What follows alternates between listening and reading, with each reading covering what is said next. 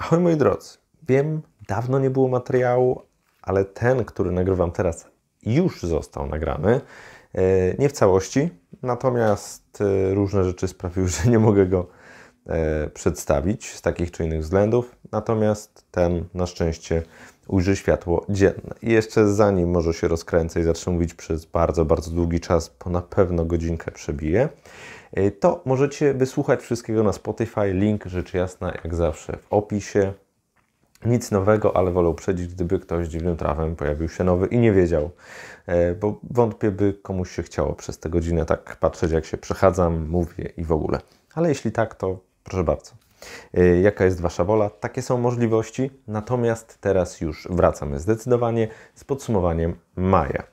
No, powiem Wam, ten miesiąc był niezwykle intensywny, jeżeli chodzi o odbiór pewnych rzeczy. Nie bez powodu mam taką magiczną listę, która mi troszeczkę pomoże, która troszkę w pewnych kwestiach e, da mi punkt wyjścia do opowieści, ponieważ poza oczywiście standardowymi, czyli najlepszą e, lekturą miesiąca, najlepszym filmem czy serialem, a także e, rozczarowaniem czy niespodzianką, również będą wydarzenia. I to nie jedno wydarzenie, ale dwa wydarzenia. Tak to się w maju wydarzyło. Myślę, że warto o tym wspomnieć. Nie macie wyjścia, chcę o tym wspomnieć, więc to po prostu będzie. Mam nadzieję, że to nagrywanie nocne spełni swoje zadanie. Być może nie będzie to najlepsza jakość życia, ale nie oszukujmy się, chyba nie o to w tych nagraniach chodzi. Przede wszystkim, czy się to, co uda mi się przekazać i być może Was do czegoś zachęcić. Jeżeli irytuje Was takie przechadzanie się, to bardzo mi przykro, ale stanie w jednym miejscu przez dłuższy czas też jest dość trudne. Ok, przechodząc do rzeczy, pierwsze wydarzenie i nie ostatnie, a jest nim, co może być dla niektórych zaskakujące, Eurowizja. Festiwal, który owszem jest upolityczniony, który owszem jest przedziwny i ekscentryczny, ale towarzyszy mi od kurczę, już ponad 20 lat. Pierwszą edycję zobaczyłem w roku 99 albo 2000, coś takiego. Obstawiłem nawet e, zwycięzcę z powodzeniem.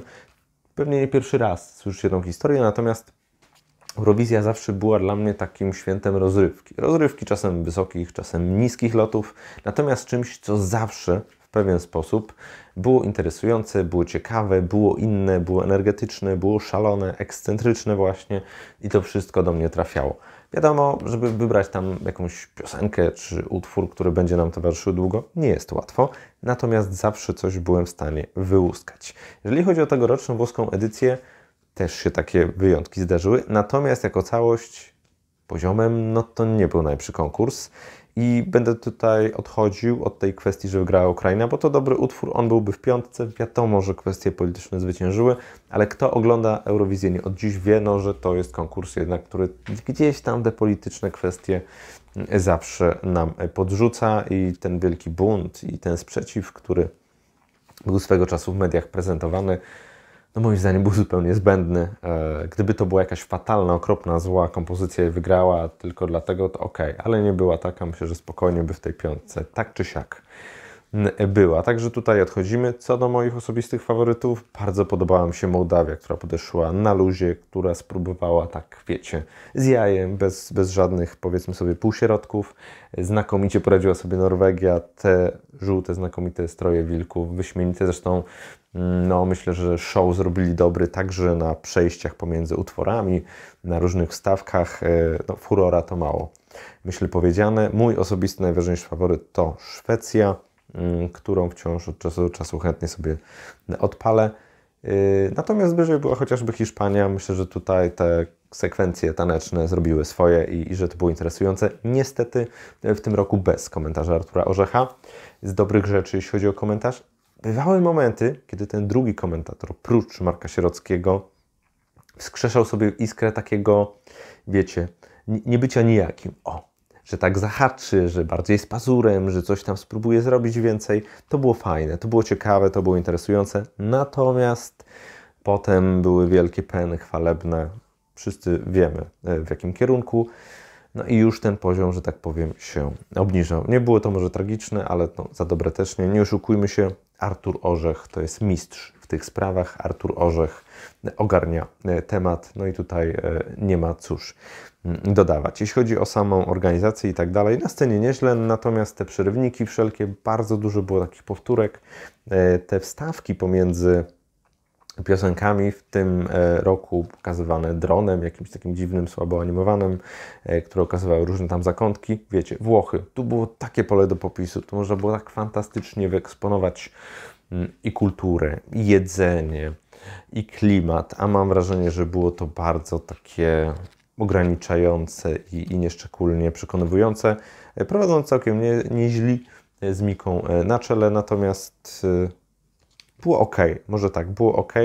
E, były momenty, nie był to najlepszy konkurs w historii, ale wciąż to była Eurowizja, to zawsze jest taka, przynajmniej dla mnie, miła odskocznia, która zawsze mnie zaskoczy, która może być nudna, może być przedziwna, może być na jedno kopyto, a wciąż dostarcza mi rozrywki to w sumie taka troszkę tradycja rodzinna się zrobiła. E, wiem, że to nie dla każdego, ale dla mnie to jest wydarzenie i ja zawsze na Eurowizję czekam i zawsze chętnie ją oglądam. Jeśli nie widzieliście, Wydaje mi się, że warto sprawdzić.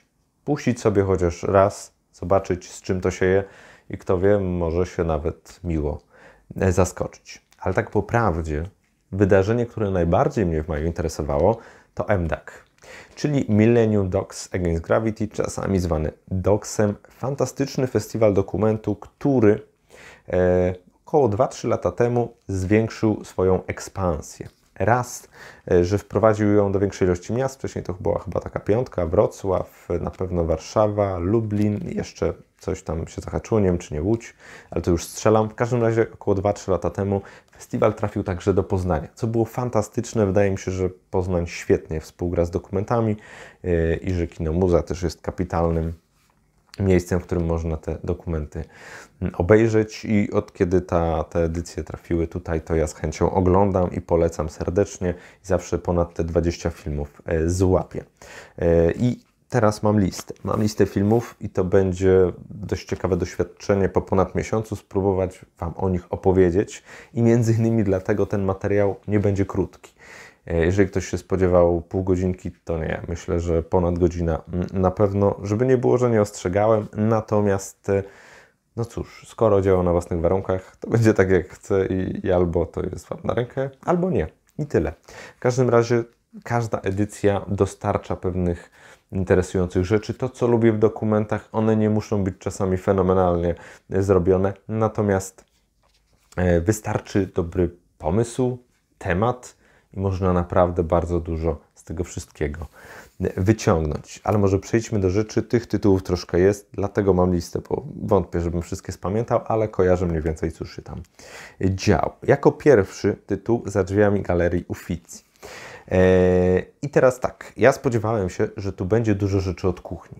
I nie powiem, są tam fragmenty, w których na przykład mamy, nie wiem, um, umiejscawianie nowej instalacji, która ma w jakiś sposób współczesnymi kwestiami uświetnić e, te, te florenckie zdobycze, która ma troszeczkę inny punkt widzenia tutaj narzucić. Mamy rozmowę z niektórymi pracownikami, którzy coś tam powiedzą. Natomiast trudno mi było się e, nie odczepić od wrażenia, że za drzwiami Galerii Uffizi to taki troszkę folder reklamowy z większym, e, z większym metrażem. Nie mówię, że to się oglądało bardzo źle, natomiast było to przeciętne doznanie. Myślałem, że będzie więcej kulis, więcej innych rzeczy. Tego troszkę jest, ale to jest kawałek. Mam wrażenie, że przede wszystkim my się tam troszkę, troszkę szwendamy, patrząc, co się dzieje na ekranie.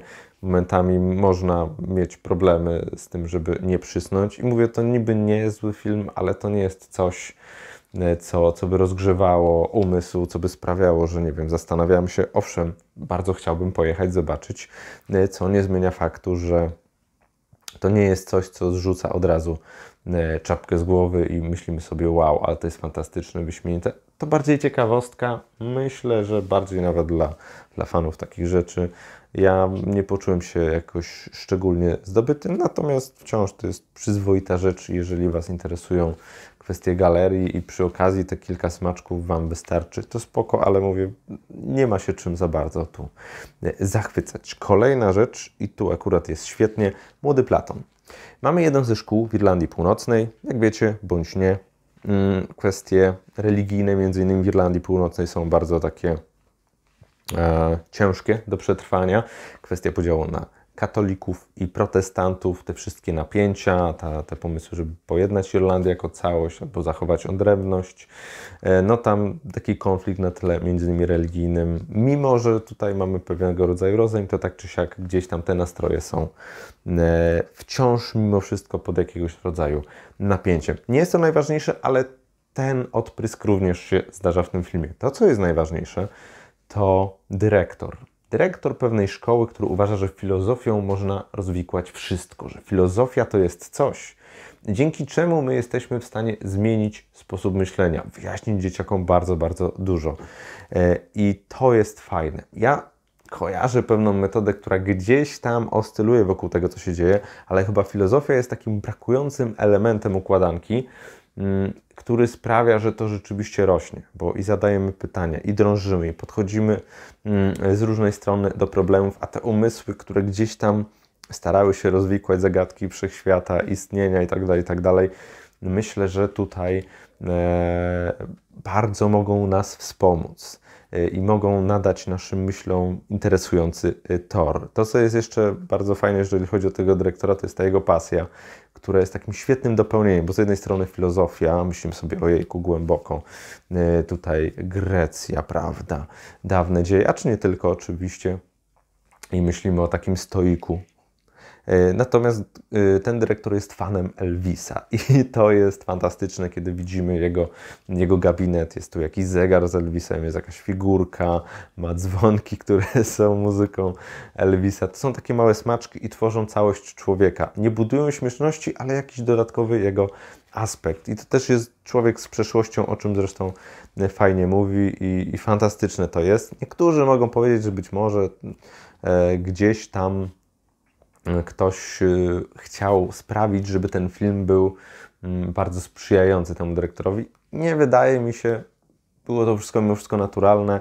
Ja nie odniosłem wrażenia, że to jest jakoś stylizowane i to mnie zachęciło, żeby do filozofii sięgnąć na początek mm, y, po filozofię dla zabieganych, bo jestem trochę zabiegany. Ale nawet nie o to chodzi, to jest fajna książka, między innymi dlatego, że tutaj mamy takie wycinki, taką, taką pigułkę filozofii. Mamy różne, różnych myślicieli, różne ich koncepcje i te koncepcje są przedstawiane w taki bardzo jasny, klarowny sposób. Do pogłębienia inne rzeczy, żeby z tymi dziełami się zapoznać w całości, natomiast jako skrawek, kawałek na start, tutaj to jest znakomite e, miejsce.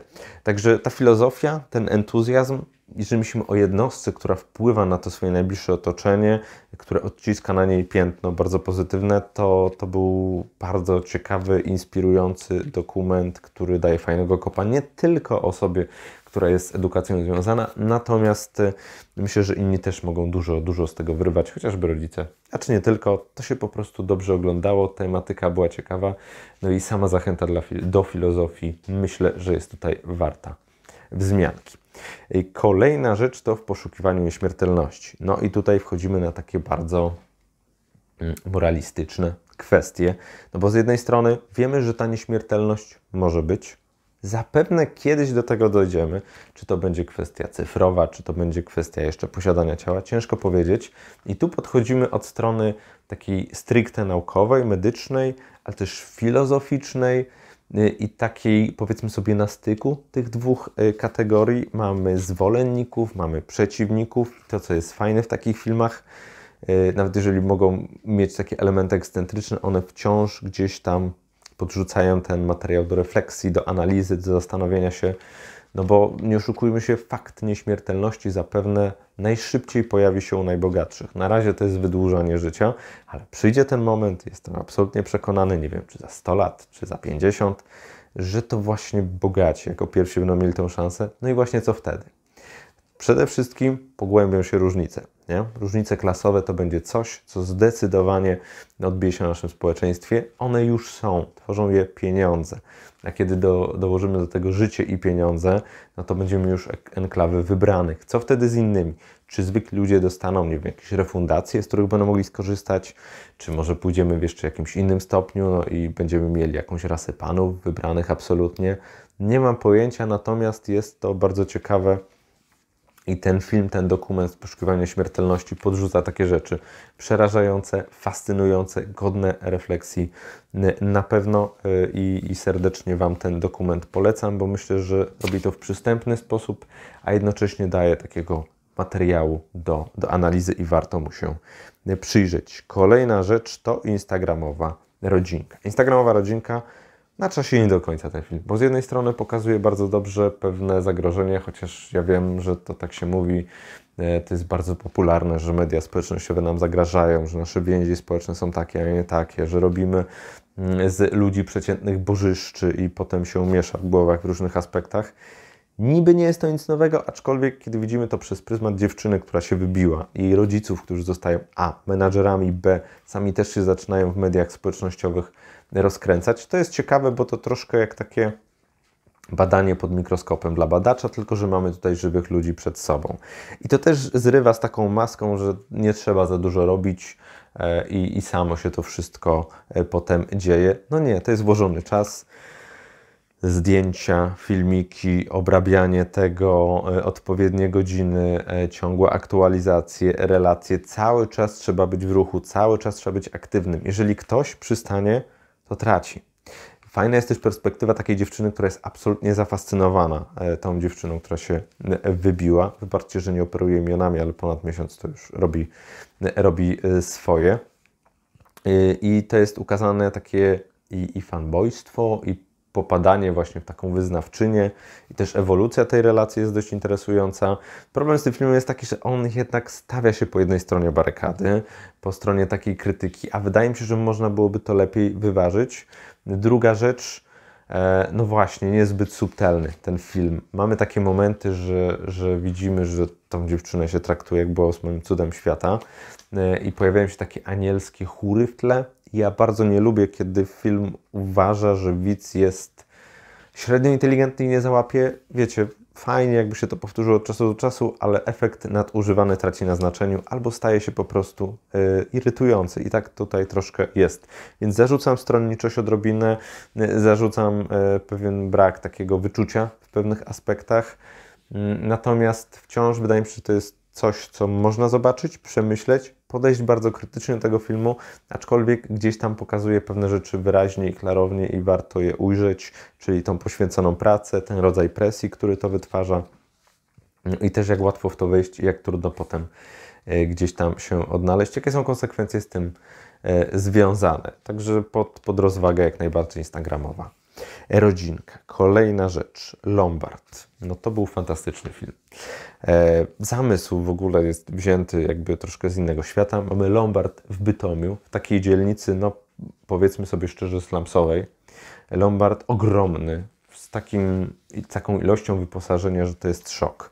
Wiecie, jakieś kilka tysięcy futer, e, mikrofalki, kubki, ubrania, książki, kable, słuchawki, telefony, laptopy, no masa tego po prostu. To są grube tysiące, to jest chyba jeden z największych e, takich składów e, w Europie, tak mi się wydaje. E, bardzo, może nie charakterystyczna, może nie w 100%, ale też e, obsługa osoby pracujące tam, ciekawe relacje między nimi się e, dziejące i to brzmi tak trochę, nie wiem, może nie do końca pociągająco, ale warto Lombardowi dać szansę. 5 lat kręcenia, no troszkę na wariackich papierach to wszystko robione. Miałem szczęście być na miejscu, kiedy akurat i producentka, i reżyser opowiadał o tym filmie. I podobało mi się to, w jaki sposób on to przedstawił. Wiecie, mamy do czynienia z setkami, jak nie tysiącami godzin i złożyć z tego 78-minutowy film, który się spaja, który się splata, który z jednej strony pokazuje koloryt bohaterów, ale ich nie ośmiesza, mm, nie stawia ich w jakimś takim niejednoznacznym świetle, e, w którym widać, że e, filmowiec ingerował. Nie, to są osoby, które mają dobry czas i gorszy czas, natomiast są ludźmi, nie są zwierzętami w zoo. To jest czasem problem dokumentu, że to jest właśnie troszeczkę, jakbyśmy sobie weszli do takiego zoo, dostajemy charakterystyczne persony, charakterystyczne wydarzenia i sobie film płynie.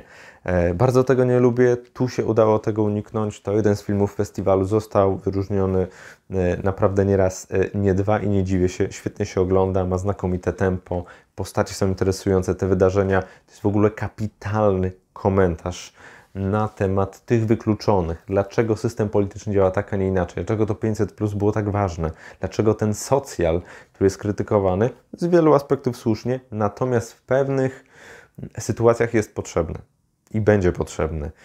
I kiedy zobaczymy sobie na Lombard ludzi, którzy tam przychodzą, to jak się tam pewne rzeczy dzieją, to nam pokazuje, że jest bardzo wiele osób, o których zapominamy, które są zupełnie poza tym medialnym obszarem, który my znamy, a jednak wypadałoby o nich pamiętać i ten film poszerza też perspektywę myślenia. Więc pod kilkoma względami tutaj jest e, parę elementów, które naprawdę tworzą taką bogatą, wielowarstwową, a jednocześnie bardzo przystępną i myślę e, wciągającą. E, propozycja jestem Lombard, jedna z najlepszych rzeczy. Myślę, że pojawi się gdzieś na VOD, chyba na kanale Plus, bo tam była jakaś współpraca, no ale poszukajcie sobie. Lombard zdecydowanie warto.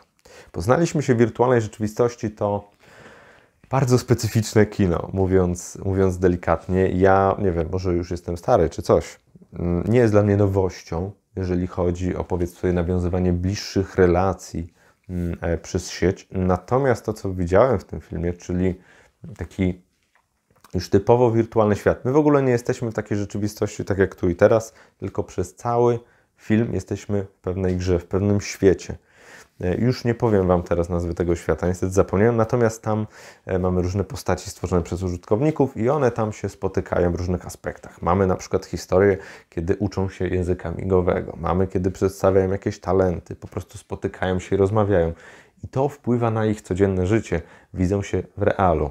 E, ten rozwój tego świata to przede wszystkim pandemia. To ona wpłynęła na to, że ta potrzeba bliskości niemożliwie się zwielokrotniła. I ten, powiedzmy sobie, świat socjalny, kiedy mieliśmy obok siebie kogoś, e, przerzucił się tam. E, I to była naturalna rzecz, no bo jednak byliśmy zamknięci i tak dalej, i tak dalej. Chociaż wydaje się, że no wyszło to poza tą bańkę, powiedzmy sobie, e, te, tego świata wirtualnego. Natomiast wciąż jest to dość dziwny film, dość charakterystyczny. Tam jakieś teksturki znikają, te postaci nie są, powiedzmy sobie, jakoś genialnie animowane. Natomiast to jest jakiś ciekawy aspekt socjologiczny. Myślę, że warto mu się przyjrzeć. To jest film bardziej jako ciekawostka niż coś, co Was wciągnie bez pamięci. Natomiast ma w sobie coś fascynującego, bo takiego świata się chyba nie spodziewałem. E, to nie jest chyba do końca moja bajka. I to jest coś, co cieszę się, że zobaczyłem, że się dowiedziałem, że coś takiego istnieje, że w pewien sposób to tak mocno wpływa na ludzi. I nie wiem, czy to mnie bardziej przeraża, czy fascynuje, ale to jest chyba coś, z czym musimy się pogodzić i co trzeba zaakceptować. E, co nie zmienia faktu, że to duży eksperyment, żeby stworzyć wyłącznie w tym świecie narrację, co stwarza pewne problemy, jeśli chodzi o, nie wiem, przystępność tego, o to, jak to wciąga, e, bo to potrafi tak odciąć się człowiek, kiedy widzi jakieś przelatujące tekstury i inne rzeczy. Natomiast jako coś innego, to zdecydowanie y, to poznawanie wirtualnej rzeczywistości się sprawdza. Może nie za wszelką cenę, ale jak się trafi okazja, chociażby na parę minut, myślę, że spoko. Aczkolwiek cringe'owych momentów też trochę tam jest y, i myślę, że też warto o tym wspomnieć. Y, cóż dalej? Nothing Compares. Ok, wiecie bądź nie?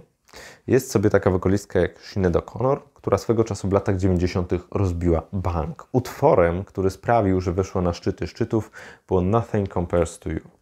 E, fantastyczny teledysk, znakomita e, muzyka, chociaż wiadomo, może macie inne gusta i tak nie uważacie. Natomiast no, to było wejście na scenę naprawdę z przytupem. I to osoby, która była no, zdecydowanie z tych nieposkromionych, która mówiła, co się dzieje. My chyba najbliżej kogoś takiego byliśmy w przypadku Agnieszki Chilińskiej e, swego czasu, nie teraz, ale ładnych paręnaście lat temu, e, kiedy mówiła na przykład nauczycielom fakow. Zdarza się. No offense. Yy, tak, to wtedy to był ten moment, kiedy gdzieś tam możecie sobie skojarzyć jakieś łączniki. To nie chodzi o takie buntowanie bez powodu, no ale rzeczywiście Shinet miała swoje powody zdecydowanie do tego. Była też wychowana przez zakonnicę swojego, swoich cierpień doświadczyła. I to jest niby dość klasyczny dokument z cyklu y, historia kogoś, kto się bardzo wysoko wzniósł, potem spadł i, i poszedł troszkę w inną stronę.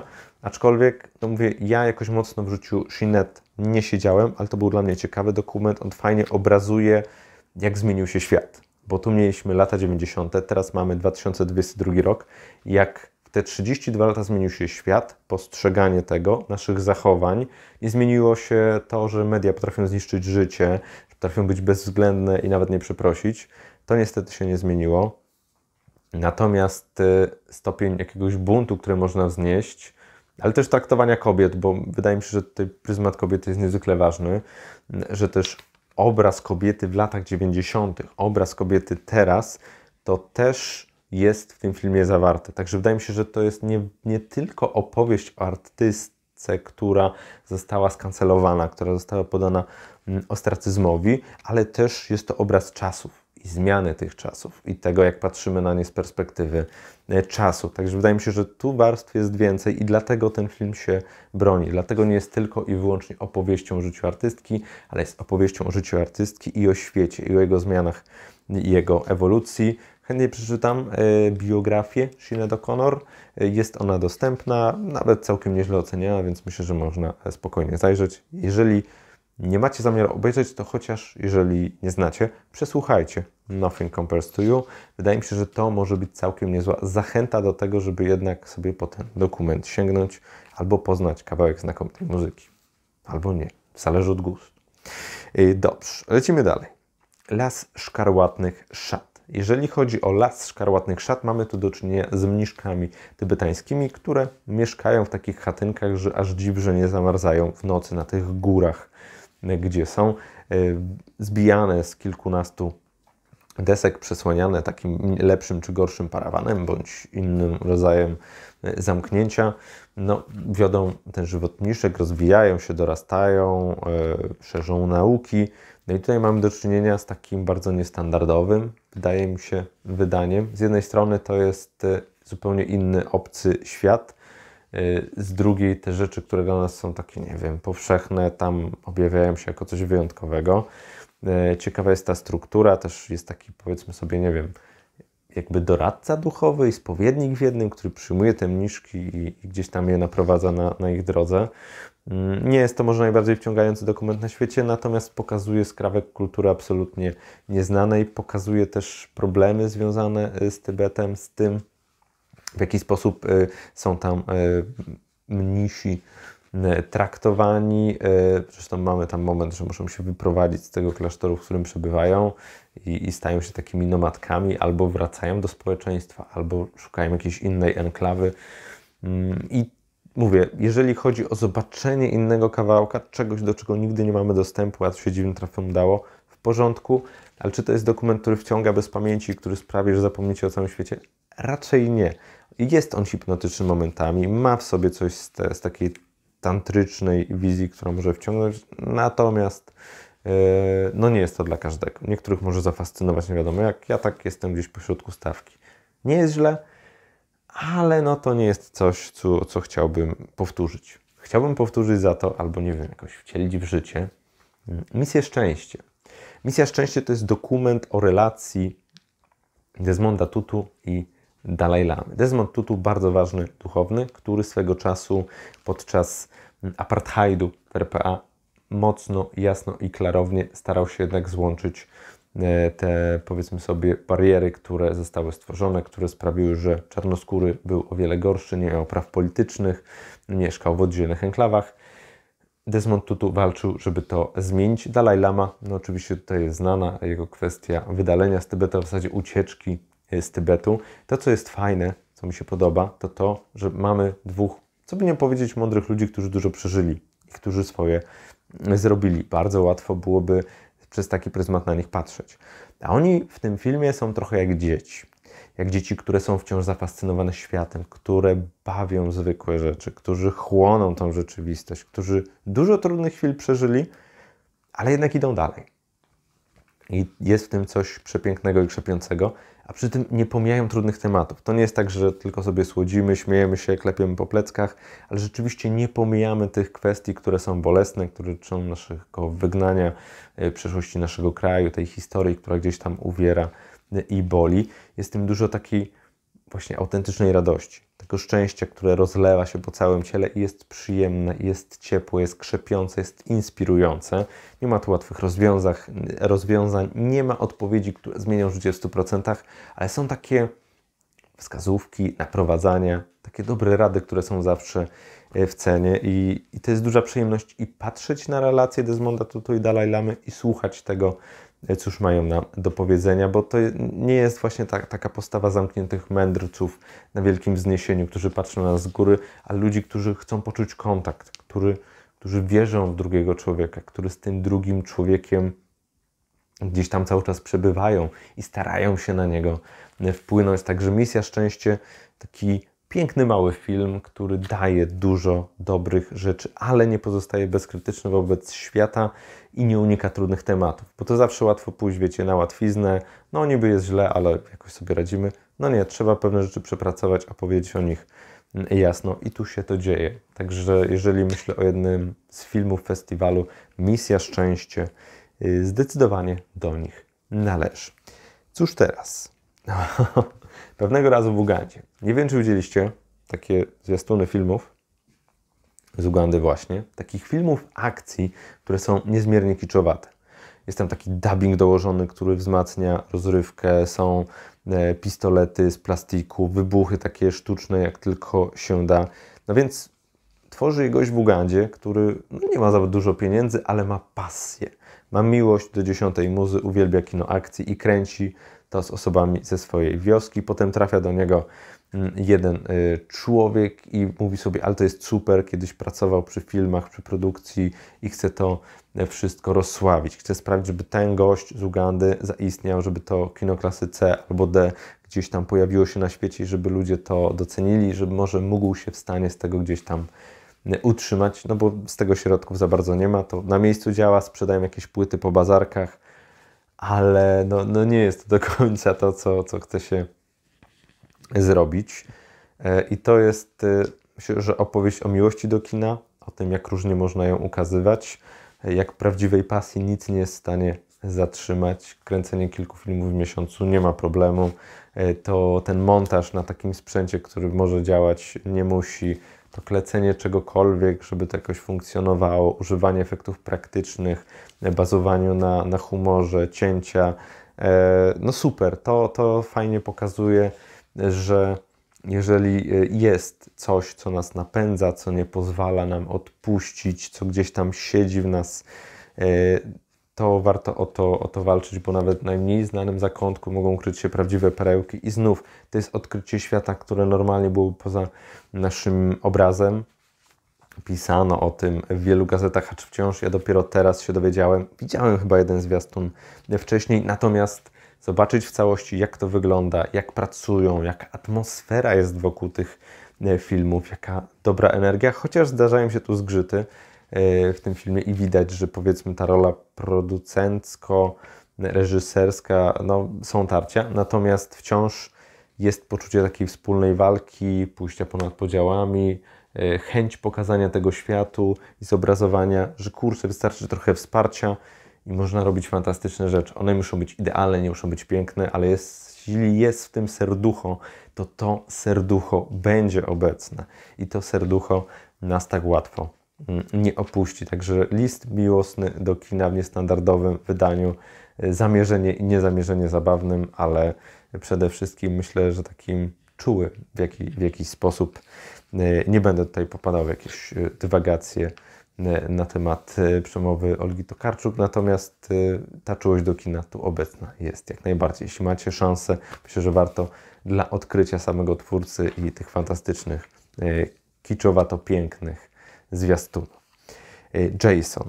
Jason to jest trudny film. Jason to jest e, opowieść o, o zmianie płci, o chłopaku, który był dziewczyną i który boryka się z pewnymi traumami, który bardzo dużo doświadczył w dzieciństwie, bardzo dużo złego, który dopiero wychodzi z takiego, z takiego dołka. Nie jest to historia łatwa, natomiast ja lubię w dokumentach to, że one pokazują mi inny obraz także człowieka inną sytuację, bo bardzo łatwo się kategoryzuje, mam wrażenie, w współczesnym świecie i te kwestie binarności, niebinarności, zmiany płci itd., tak itd., tak to bardzo łatwo się kategoryzuje. Raz, że każdy przypadek jest indywidualny, dwa, jeżeli nikogo nie krzywdzisz, w czym problem?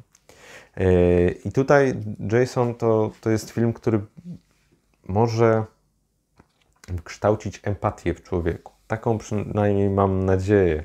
Mówię, nie jest to łatwy film, nie jest to film, który się przyjemnie ogląda, natomiast jest to film, który może otworzyć pewne pokłady współczucia, otworzyć nową perspektywę, która sprawi, że nie będziemy tak łatwo oceniać w pewnych sytuacjach, że trochę nad tym przysiądziemy, przystaniemy, pokontemplujemy, yy, zatrzymamy się, zanim wypowiemy parę słów za dużo, które będą zupełnie zbędne i które w niczym nie pomogą. Widać tu dużą ostrożność w obchodzeniu się z głównym bohaterem, który rzeczywiście ma te swoje wzloty i upadki, który ma świadomość pewnej kruchości, ale patrząc, czego doświadczył i jakim tutaj szokiem jest e, chociażby ta, ta zmiana, która się wydarzyła, to co było jego pragnieniem oczywiście, natomiast wciąż to jest duża zmiana, a duże zmiany trzeba sobie obłaskawiać z czasem. Także jeśli macie ochotę mm, ukazać, zobaczyć mm, inny punkt widzenia, troszkę bardziej wejść w życie takiego człowieka, który się zmaga z pewnymi rzeczami i chce tej zmiany, bardzo jej pragnie, mm, no to zachęcam. Myślę, że, że warto sprawdzić, aczkolwiek uprzedzam, nie jest to łatwe kino. Simona. Nie wiem, czy słyszeliście o Simonie Kossak. Mam nadzieję, że tak, bo to jest przykład osoby, co mi niezwykle imponuje, takiej, która zrobiła wszystko wbrew temu, co jej przypowiedziano. Był sobie taki znany malarz jak Wojciech Kossak i Simona jest właśnie z tych Kossaków. Jeżeli chodzi o rodzinę Kossaków, to przede wszystkim powinni zajmować się malowaniem. I w tym powinien być talent, w tym powinna być ekspresja, w tym powinna być realizacja. Simona talentu plastycznego za dużego nie miała. Była też gorzej traktowana niż siostra, co rodziło pewne konflikty. I Simona odnalazła własną drogę. Osiedliła się zresztą z czasem w Puszczy Białowieskiej i tam toczyła swoje życie. Bardzo mocno zaangażowała się w obronę zwierząt, roślin. Była wcześniej, mm, była wcześniej uwrażliwiona na pewne rzeczy, o których mówimy teraz bardzo głośno. Ona robiła to już wcześniej. Wiecie, kiedy żyje się w takim środowisku, kiedy jest się na co dzień, widać te przemiany. Widać w jaki sposób natura na nie, przepraszam, natura na nie reaguje, w jaki sposób ona na nie wpływa, jak zmienia się ten ekosystem, jak to wszystko jednak no, ma swój tryb, który e, zaburzony no, może mieć poważne konsekwencje. Tą historię widzimy z perspektywy e, siostrzenicy. E, ogólnie to była uwiel, ulubienica Simony. E, I ta perspektywa z jednej strony jest ciekawa, bo też e, matka tej siostrzenicy mocno się wypowiada. Natomiast w tym filmie trochę brakuje mi równowagi, bo mamy jakieś nagrania archiwalne, mam właśnie tą perspektywę tej siostrzenicy i, i tej siostry, ale czegoś mi w tym filmie brakuje. Wydaje mi się, że punkt wyjścia był ciekawy, że można było bardziej poszachować tymi wypowiedziami, e, że to jest zrobione bardzo poprawnie, porządku, to jest niezłe kino, ale wydaje mi się, że można było z tego wziąć więcej, że Simona zasługuje na więcej, patrząc na to, jakie, mm, jaką spuściznę pozostawiła e, nam w tym, e, w tym świecie, bardzo ważną.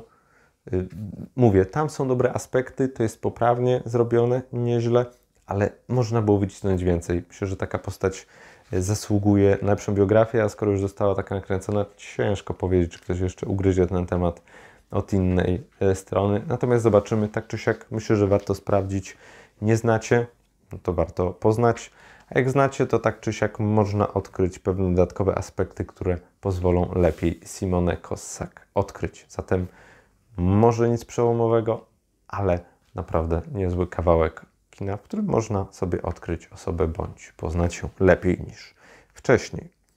Yy, nie powiem tego o podwodnym życiu Jacques'a Cousteau, Y, niestety tutaj jest rozczarowanie. Historia człowieka jest fascynująca, natomiast jest tak poprowadzona, tak wiecie, bardzo po łebkach, bardzo szkolnie, bardzo tak. Mamy bohatera, który wiemy, że coś osiągnął, że był niestandardowy. Można było tą historię opowiedzieć od różnych stron, a idziemy takim prostym, mm, prostą drogą. A mamy przecież człowieka, który szedł wbrew wszystkiemu, który odkrywał świat na nowo, który był popularyzatorem tego, co już jest w wodzie, który zmieniał swoje nastawienie do natury i też ją gdzieś tam poznawał, który sporo w życiu doświadczył ze swojej i nie ze swojej winy. Który rzeczywiście dał nam jakiś nowy kawałek świata albo pozwolił na niego spojrzeć z innej perspektywy. Tymczasem, jeżeli chodzi o Jacques'a Cousteau, tutaj jest poprowadzone to bardzo po sznurku, yy, tak po bożemu.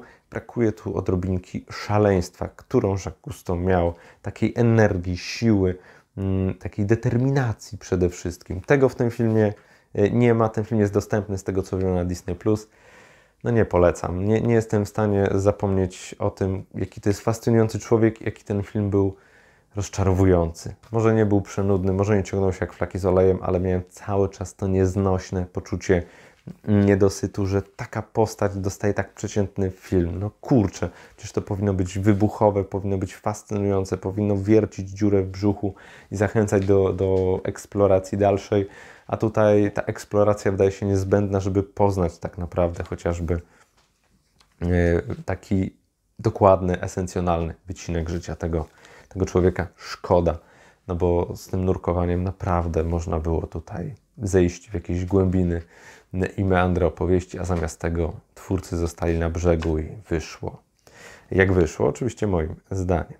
Nasza stara klasa za to nie jest standardowa w żadnym wypadku. Wyobraź sobie historię o człowieku, który udowodnił, że można się cofnąć w czasie. I to nie jest taki wabik, i to nie jest haczyk. Haczyk jest w tym, że nie mogę Wam za dużo powiedzieć. Eee, mamy do czynienia z pewnego rodzaju, nie wiem, oszustwem, machinacją czasem i możliwościami. Eee, mamy tutaj człowieka, który jest niezwykle tajemniczy i który no, robi dużo rzeczy, żeby osiągnąć pewne cele. I na tym skończę. Im więcej macie tajemnicy, tym bardziej nasza stara klasa Was zafascynuje. Okaże się być obrazem takim, że pomyślcie sobie serio, to się wydarzyło, ludzie to kupili, tak było, tak było. E, to nie jest w żadnym razie fake ani nic takiego. e, natomiast tak, to miało miejsce. Mamy zresztą bardzo ciekawy tutaj motyw. Mamy aktora, y, który nie wypowiada słów. Y, te słowa są podłożone od człowieka, który jest głównym bohaterem tej opowieści, ale nie chce pokazać twarzy. Dlaczego? Dowiecie się, jak obejrzycie. Natomiast no, robi to taki pozytywny bałagan w mózgu. Ten film też zahacza o kwestię pamięci. Pamięć jest bardzo ważna w naszym życiu. Są pewne fundamentalne wydarzenia, które na pamięci gdzieś tam opieramy. Wydaje nam się, że jesteśmy ich pewni. W tym filmie jest kilka sytuacji, których ludzie byli pewni, potem dostajemy na przykład nagranie i okazuje się, że były zupełnie inne, bo tak działa nasza pamięć. Dostosowujemy ją, pewne fakty wpływają na nią tak, a nie inaczej. E, I to jest coś takiego, że po filmie człowiek zastanawia się, w co jeszcze może wierzyć, co jest rzeczywistym fundamentem, a co jest dobrą fasadą, którą przyjął, wziął do siebie i tak już zostało. Także nasza stara klasa, fantastyczne, wciągające kino z twistem, o którym się jeszcze myśli długo po, po seansie. Im mniej wiecie, tym lepiej. Później podziękujecie. Mam nadzieję, może się Wam nie spodobać. Różnie bywa. Natomiast nasza stara klasa, warto ją odwiedzić. Kolejna rzecz. Kiedyś byliśmy dzieciakami. Mm, to jest yy, film o filmie. W zasadzie o dzieciakach, które wystąpiły w filmie, które zostały wzięte jako naturszczycy. Był taki film e, z chyba 95 roku.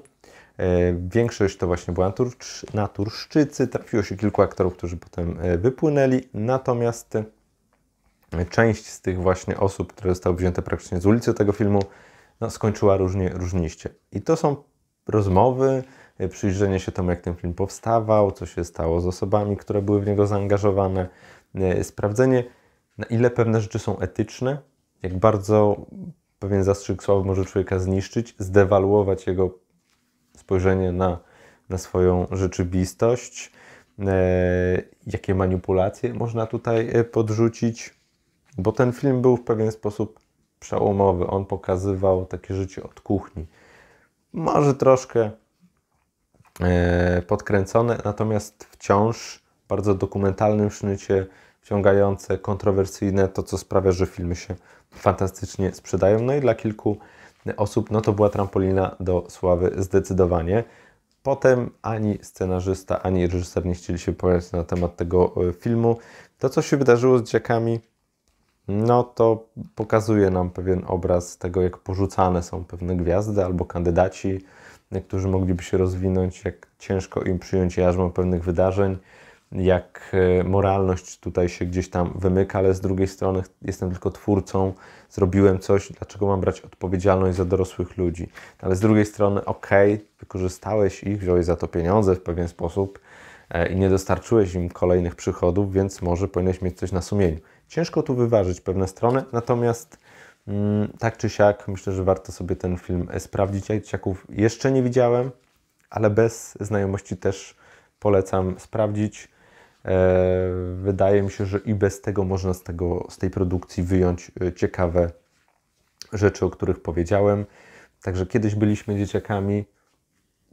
Interesujące spojrzenie na to, jak niektórzy kończą, cóż się dzieje, jak czas zmienia naszą perspektywę, na jakie szczegóły zwracamy uwagę, które wcześniej być może nie przyszłyby nam wcale e, do głowy. Na koniec zostawiłem na ratunek. Ten film jest dostępny w Disney Plus i ten film warto obejrzeć. Jeżeli pamiętacie o pewnej sprawie, kiedy to dzieciaki wraz z trenerem zostały zalane w jaskini, nie mogły z niej wyjść. E, to była chyba tajlandzka jaskinia, jeżeli się mylę, wybaczcie. W każdym razie no, nie szło ich wydostać. Ulewy, e, próby jakiegoś e, stworzenia okazji, żeby tam ich uwolnić. Cały czas ta medialna narracja która podkręcała jeszcze to wszystko, kolejne dni, zastanawianie się, żyją, nie żyją i tak dalej. Mm, to, co jest piękne w takich filmach, człowiek wie, co się stanie, a i tak siedzi na granicy fotela i jest absolutnie zafascynowany. Bliżej Ocean's Eleven w dokumencie już nie będziemy. Pamiętacie taki film Ocean's Eleven ryzykowna gra? Tam zbieramy grupę, robimy skok i dzieje się. Tutaj też mamy coś takiego.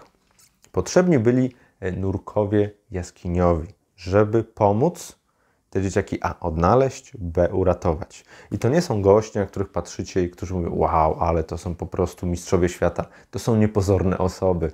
Osoby, które nigdy nie pchały się przed obiektyw, które nie chciały sławy, które w żadnym stopniu nie próbowały zaistnieć. Natomiast stało się jak się stało.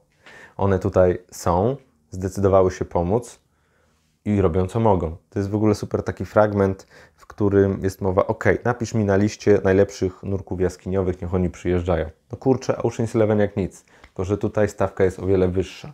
I fakt, jak ta akcja wyglądała, jak była planowana, jakie były wątpliwości, jak ona przebiegała. Ja wiem, jak to się skończyło, wiem, co się zdarzyło, co nie zmienia faktu, siedzę jak na szpilkach bo narracja jest świetna, bo te opowieści nurków są fantastycznie pokazane, bo to wszystko jest zmontowane w punkt, bo tu poziom napięcia zostaje wytworzony przez sam fakt, jak to zostało zrobione, a nie jaki był finalny tego efekt.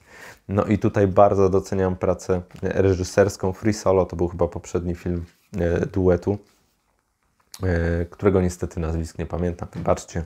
Natomiast na ratunek jest na Disney Plus, to jest produkcja National Geographic.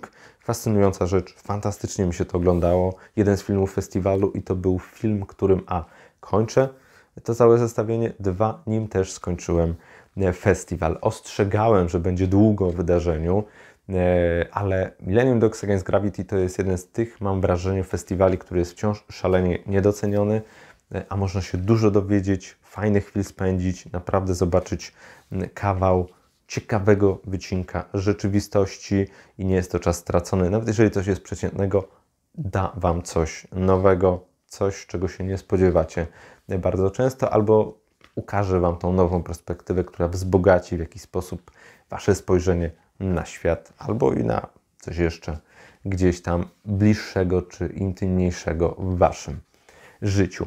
Na tym kończymy wydarzenia, ale nie kończymy podsumowania maja, bo oczywiście mamy te mm, standardowe tutaj, prawda, segmenty i szkoda byłoby je pominąć, chociaż po tych 50 minutach pewnie już macie trochę dosyć. Przykro mi bardzo, takie jest życie. Jeżeli chodzi o najlepszą lekturę, to wziąłem dwie.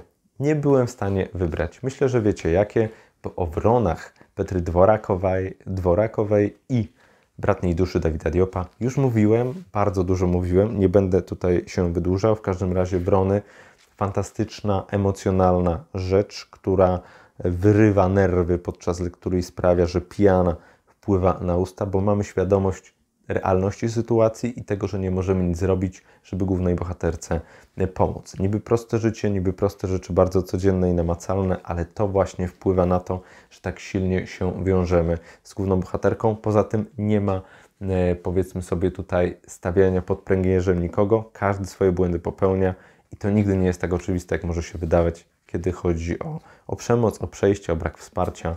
Myślę, że dla właśnie dla rodziców, ale i dla dzieciaków lektura obowiązkowa, która może uświadomić bardzo wiele potrzebnych rzeczy. Więcej o Wronach nie, bo macie oddzielny film i zachęcam, żeby go tam obejrzeć albo wysłuchać. Dawid Diop, Bratnia Dusza, tożsama sytuacja, ponownie emocje, fantastyczny język. To jak Diop operuje słowem, jakie frazy tam strzela, jak uderza opisami, jakie są one plastyczne, a jednocześnie niezwykle wgryzające się w mózg. No, naprawdę szacuneczek, sposób jaki pokazuje I wojnę światową, bohatera, jego stan psychiczny, to co się dzieje w jego sercu, w jego głowie, jak opowiada o, o relacjach, o momentach przejściowych, o to, jakie jarzmo pozostawia wojna.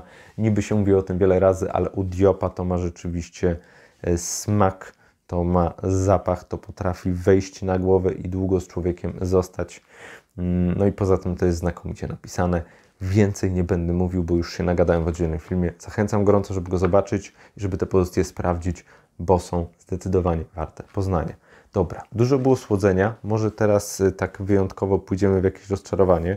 Ja się wahałem między paroma rzeczami, ale koniec końców na rozczarowanie miesiąca wybrałem fucking Borhon.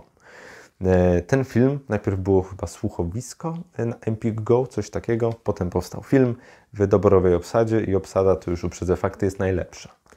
E, jest Damięcki, jest Sztur, jest Grochowska, e, Śmina Polak, dobrze mówię? Mogłem pomylić, przepraszam. W każdym razie obsada znakomita, absolutnie. Każdy tutaj ma swoje momenty, każdy potrafi tutaj bardzo mocno uderzyć, wziąć to słowo i rzeczywiście poharatać nim, kiedy trzeba. Problem jest taki, że te słowa nie są najwyższych lotów. To, że aktorzy wyciągają pewne rzeczy, szapoba, bo naprawdę ekipa jest zacna. Natomiast to jest film, który ma dużo dobrych pomysłów, fajne sygnały, ale te wszystkie okazje, które sobie wytwarza, marnuje, bo ten film idzie w skrajności. On nie pokazuje problemów, tylko od razu idzie w takie bardzo mocne tony, które są zbędne. Chce ukazać niezależność, a potem znowu wpada w pułapkę, o czym znakomicie pisała Manuela Gretkowska w którymś z wydań Newsweeka, w takim swoim felietonie, że z jednej strony pokazują niezależność kobiety, a z drugiej strony ta niezależność kończy się na tym, że pojawia się inny mężczyzna. I to by było na tyle. To jest cała zmiana. Więc słabo to wygląda.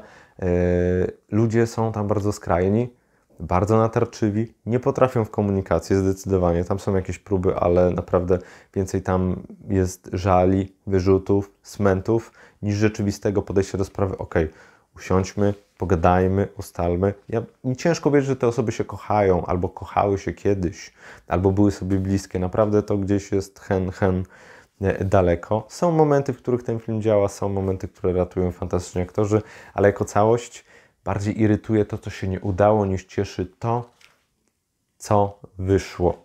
I to jest duży problem, ale Anna jak tak ma, że zalążki są tematu dobre, że kilka pomysłów tutaj gdzieś tam ładnie działa, ale mechanizm jako całość chrzęści. Coś tu nie działa, coś wypada i zamiast ciekawego kina społecznego z takim pazurem i zębem, mamy taką troszeczkę męczybułę, pełno dobrych chęci, ale jednak męczy bułę, która potrafi nielicho zirytować. Jest taki tekst e, w zwiastunie, e, który Maciej Sztur wypowiada, jest tam o niedoborze witaminy D, żeby coś tam się schować czy pójść. Jak słyszałem ten tekst, to mówię, to jest bardzo nienaturalne. Nikt by tak w życiu nie powiedział. W książce, na, na karcie scenariusza ok, ale tu no nie. Szkoda, zmarnowany potencjał. Wydaje się, że może albo inny reżyser, albo przepisanie tego scenariusza. Nie wiem, czy on jest identyczne jak słuchowisko, czy były zmiany. Natomiast nie do końca się to sprawdziło i ten film jest rozczarowaniem dla mnie o tyle, że zapowiadał się dobrze, że miał kilka takich fajnych pomysłów i potem to wszystko stracił. A sznyt europejski wydawał się tutaj jak najbardziej na czasie i też coś tej produkcji dawał.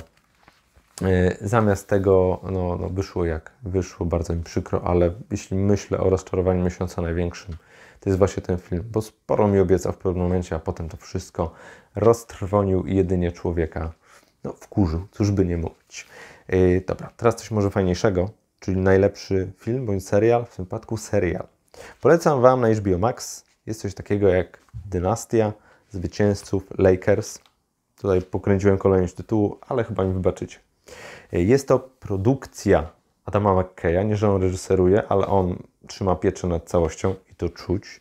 E, mamy Johna C. Reilly głównej roli i mamy ten okres, kiedy Lakersi zostają przejęci e, przez tego bohatera, którego John C. Reilly gra i którzy idą w stronę zwycięstw. I wszystko kręci się wokół Magica Johnsona, który jest takim kimś, kto zmieni to całe środowisko, kto sprawi, że Lakersi będą szczyty zdobywać i będą absolutnie nie do zatrzymania. To, co jest fajne, to, co mi się podoba, że tam nikt mm, nie oczekuje prawdy historycznej. Jest tam, tam napisane, że pewne rzeczy są podbarwione po to, żeby to fajnie wyglądało. Nie wiem, czy to od początku tak było, czy po pewnych zarzutach to nie zostało zmienione. Natomiast e, bardzo mnie cieszy, że ktoś poszedł w tę stronę, bo ja absolutnie nie potrzebuję prawdy historycznej. Chcę coś, co mnie wciągnie, co będzie zabawne, co będzie interesujące.